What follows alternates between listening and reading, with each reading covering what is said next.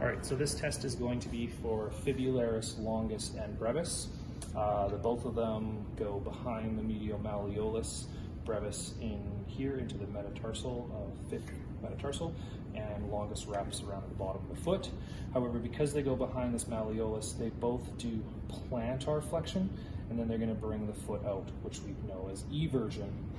This is one of the examples of tests that people get wrong regularly, and that because it's running down here, they often do dorsiflexion or eversion. And sometimes you still see that tendon sticking out. So please don't get confused. We're looking for plantar flexion and eversion.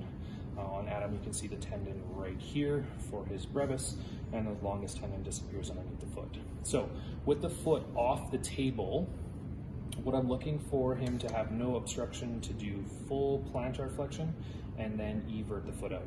Don't expect a lot of eversion at this point. Um, so sometimes you don't think it's enough and then you actually lose some of that plantar flexion to do more eversion. So let's start one more time for more of a neutral. He's gonna plantar flex and evert. Excellent. So I'm gonna change my stance a little bit here from a seated position Again, what I'm gonna be trying to do is go up in this position and then I'm gonna try to dorsiflex and invert him as he pushes down. I don't wanna compress the muscle, so just be aware of that. And whenever you're ready, don't let me move you.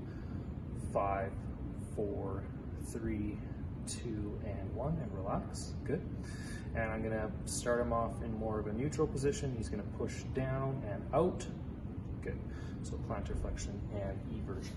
Now for the length, I'm going to be, again, not worrying about the toes so much as I'm gonna push up and to dorsiflexion and then turn his foot into inversion. And here's the length for both longus and brevis, fibularis longus and brevis.